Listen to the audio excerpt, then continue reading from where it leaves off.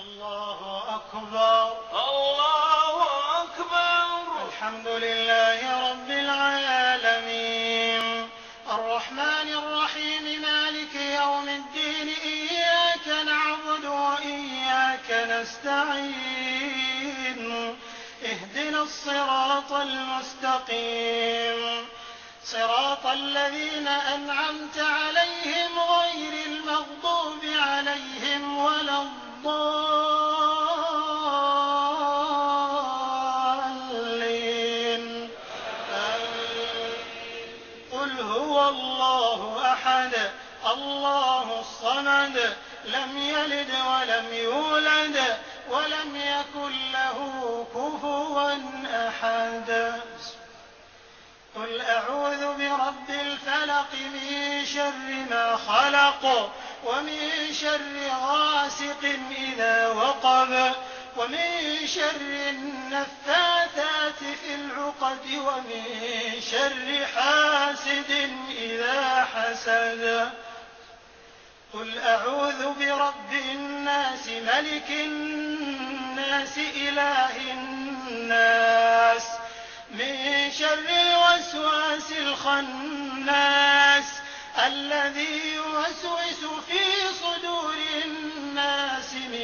الجنة والناس. اللهم لك الحمد حمدا حمدا ولك الشكر شكرا شكرا. أنت قلت وقولك الحق المبين ومن أصدق من الله قيلا ومن أصدق من الله حديثا.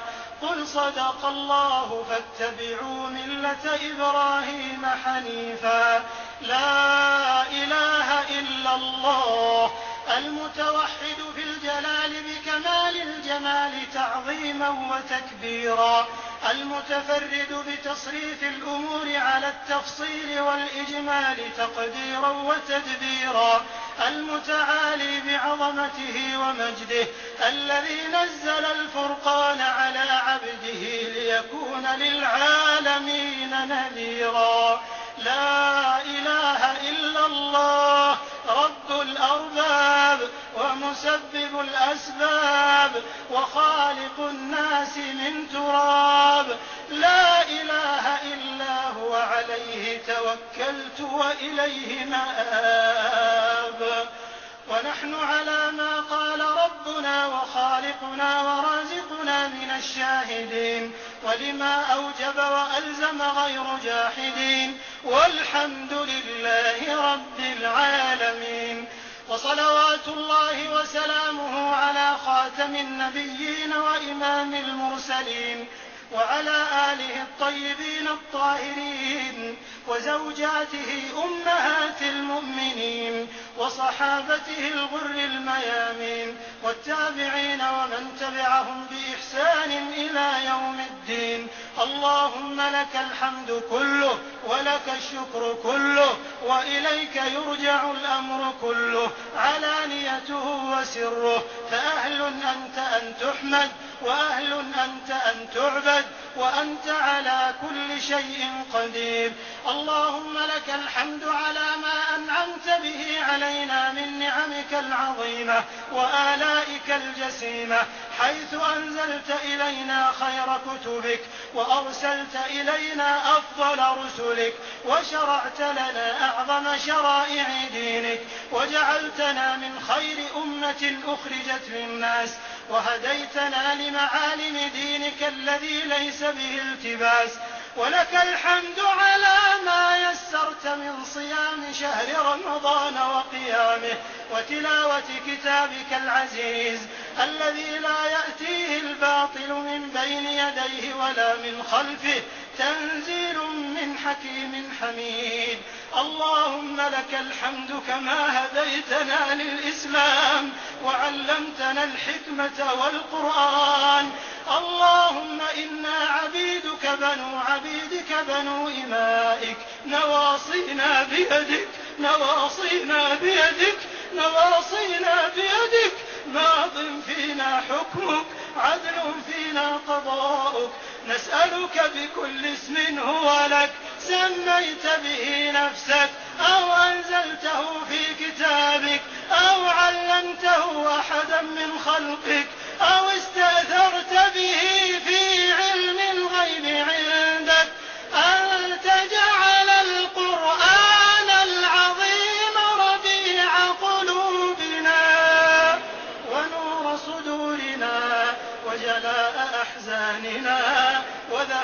همومنا وغمومنا وسابقنا ودليلنا إليك وإلى رضوانك وجناتك جنات النعيم.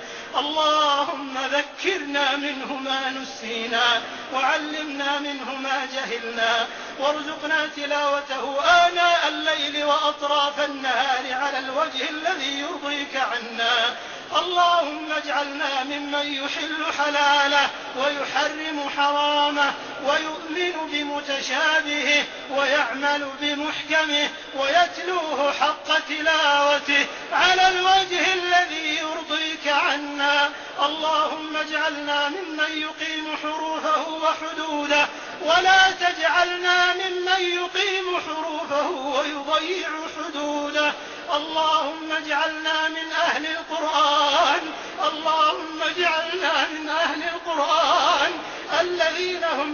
أهلك وخاصتك يا ذا الجلال والإكرام. اللهم اجعلنا ممن يقرأ القرآن فيرقى. ولا تجعلنا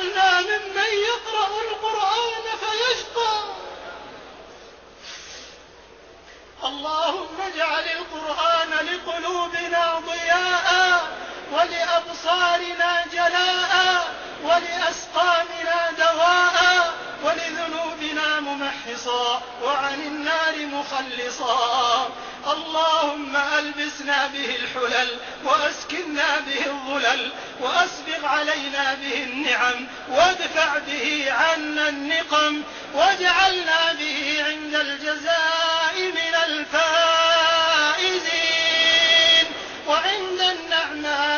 الشاكرين وعند البلاء من الصابرين ولا تجعلنا ممن استهوته الشياطين فشغلته بالدنيا عن الدين فأصبح من النادمين وفي الآخرة من الخاسرين اللهم انفعنا وارفعنا بالقرآن العظيم الذي رفعت مكانه وأيدت سلطانه وبينت برهانه وقلت يا أعز من قائل سبحانه فإذا قرأناه فاتبع قرآنه ثم إن علينا بيانه. أوضح كتبك نظاما وأصدقها كلاما وأبينها حلالا وحراما. محكم البيان ظاهر البرهان محروس من والنقصان فيه وعد ووعيد وتخويف وتهديد. لا يأتيه الباطل من بين يديه ولا من خلفه تنزيل من حكيم حميد. اللهم أوجب لنا به الشرف المزيد وألحقنا بكل بر سعيد. واجعلنا ممن يعمل كل عمل رشيد. يا حي يا قيوم يا ذا الجلال والإكرام. اللهم اجعله شافعا لنا وحجة لنا لا علينا. اللهم اجعلنا ممن